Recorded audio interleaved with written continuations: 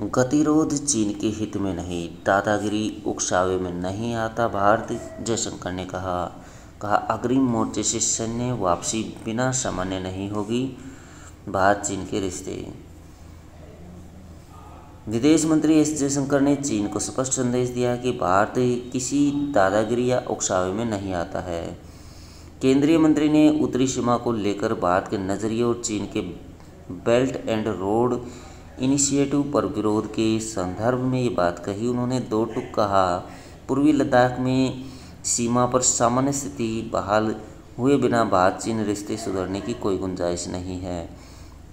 अग्रिम मोर्चे पर सैन्य तैनाती, इसमें एक बड़ी बाधा है। मौजूदा गतिरोध चीन के हित में नहीं है।